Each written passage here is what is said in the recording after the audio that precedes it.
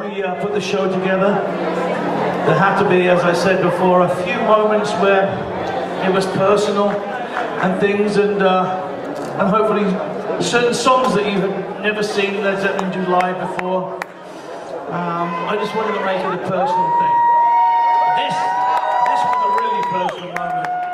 I never had a chance to play drums with Dad when he was alive. Only uh, only for him, or he would play drums for me.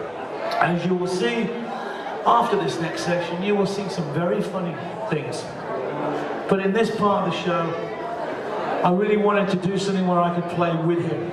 And with techn- you know, the technology today, we can do that. So every night I get a chance to play drums with the master himself. And I try and keep up. Because now, even though he's my old man, I'm now the old man and he's the kid.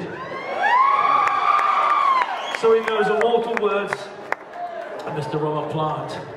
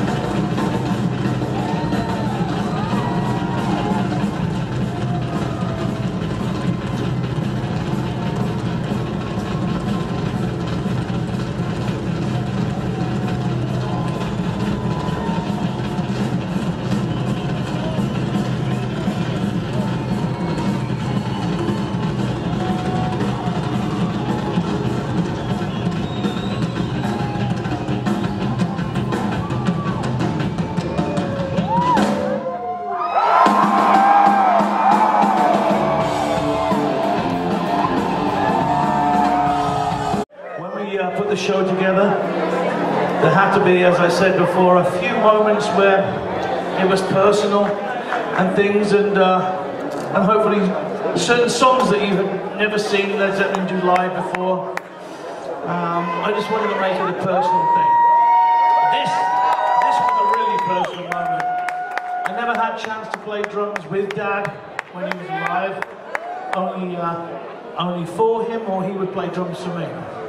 As you will see after this next section, you will see some very funny things. But in this part of the show, I really wanted to do something where I could play with him. And with you know, the technology today, we can do that. So every night I get a chance to play drums with the master himself. And I try and keep up. Because now, even though he's my old man, I'm now the old man and he's the kid.